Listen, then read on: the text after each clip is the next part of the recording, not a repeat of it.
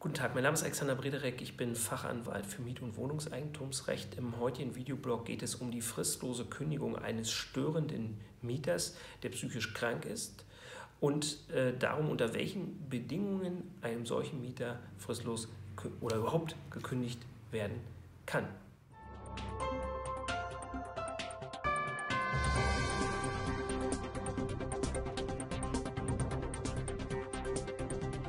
Es geht um ein Urteil des Landgerichts Frankfurt am Main vom 26.04.2018 zum Aktenzeichen 211 S 192-17. 192 aus 17.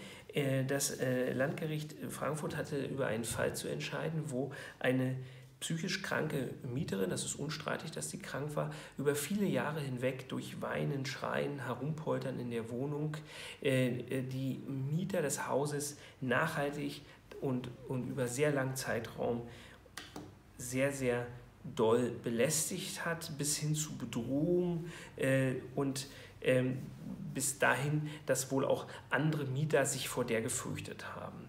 Und da sagt das Landgericht, hat hier der Räumungsklage stattgegeben und sagt zunächst einmal, ab einem bestimmten Ausmaß von Belästigung muss das vom Vermieter nicht mehr hingenommen werden, auch nicht, wenn der Mieter sozusagen vielleicht schuldunfähig oder in, nicht vorwerfbarem äh, Zustand handelte, äh, weil er aufgrund einer Erkrankung vielleicht gar nicht in der Lage war, sein Verhalten zu steuern. Das ist die erste Aussage.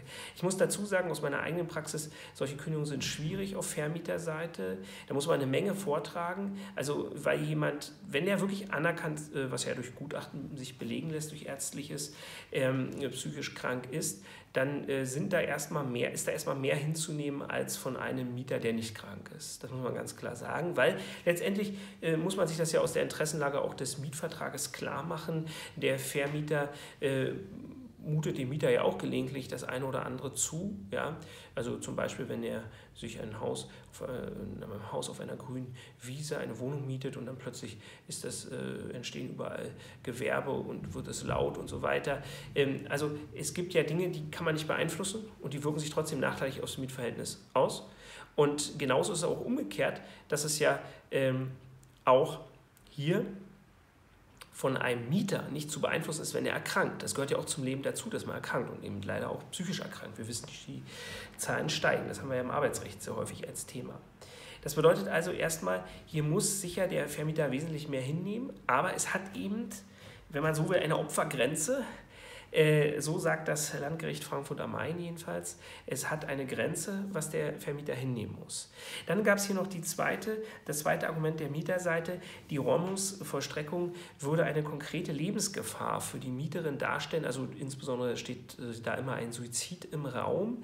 Und da hatte allerdings äh, der Bundesgerichtshof schon in einem länger zurückliegenden Urteil ähm, noch, das habe ich noch sehr genau in Erinnerung, das haben wir hier auch besprochen, äh, gesagt, dass ähm, einer Vollstreckung eines Räumungsurteils auch die nachgewiesene und unstreitige Suizidgefahr des Mieters nicht entgegensteht. Das war damals ein Mieter, der sehr lange in der Wohnung gewohnt hat und wo klar war, wenn das vollstreckt wird, dann wird er möglicherweise nicht mit umziehen. Äh, das war dem BGH äh, ja nun nicht egal, ist jetzt so hart formuliert, aber der BGH hat sich damit schon auseinandergesetzt, aber er hat gesagt, im Ergebnis hindert das die Vollstreckung nicht. Hindert das aber die Vollstreckung nicht, dann muss man sagen, äh, würde es wohl konsequenterweise auch nicht die Wirksamkeit der Kündigung hindern, weil das wäre sonst ein, aus meiner Sicht, äh, nicht mehr, äh, das könnte man nicht mehr in Übereinstimmung bringen. Ähm, so insofern wahrscheinlich richtig das Landgericht Frankfurt dann sagt das äh, Landgericht noch, was äh, der Mieter so machen muss.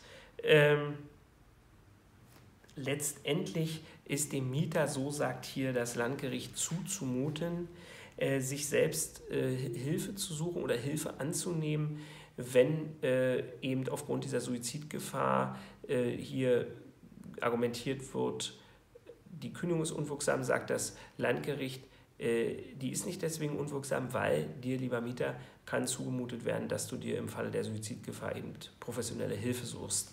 Ja, solche Argumentationen inwieweit denn ein Mieter dazu in der Lage ist und wie weit man hier von Zumutbarkeit und so weiter sprechen kann und so weiter, kann ich jetzt, da habe ich große Zweifel, ja, ob das so die richtige Begründung ist. Im Ergebnis neige ich dazu, hier zu sagen, das Urteil ist im Ergebnis richtig. Es gibt eine Grenze, ob die erreicht wird. Ich habe mir jetzt natürlich nicht den Sachverhalt angeguckt, ich habe mir jetzt nur das Urteil angeguckt. Ob die hier im Ergebnis wirklich das Urteil trägt, das würde ich jetzt äh, erstmal dahin stehen lassen. Aber es gibt sicher eine Grenze. Man muss hier auch an die anderen Mieter denken. Und man muss eben dann auch an den Vermieter denken, der sich ja auch mit Ansprüchen der anderen Mieter äh, konfrontiert sieht. Und äh, es ist äh, sicher auf der Linie der Rechtsprechung des Bundesgerichtshofs, dass es eben auch bei einer nachgewiesenen Suizidgefahr äh, die Räumung nicht verhindert, dann aber auch die Kündigung nicht dadurch gehindert ist. Insofern immer bei solchen Urteilen mit erheblichen Bauchschmerzen, aber ich glaube, es ist zutreffend und ich denke, es würde auch vom Bundesgerichtshof bestätigt werden. Ob da überhaupt eine äh, Revision bzw. Nichtzulassungsbeschwerde gemacht wird, weiß ich jetzt nicht. Ähm, aber es liegt, äh, denke ich, auf der äh, richtigen oder auf der Linie der herrschenden Rechtsprechung. Ob die dann richtig ist, wollen wir mal sehen. Vielen Dank für die Aufmerksamkeit. Abonnieren Sie gerne den Kanal. Tschüss, bis zum nächsten Mal.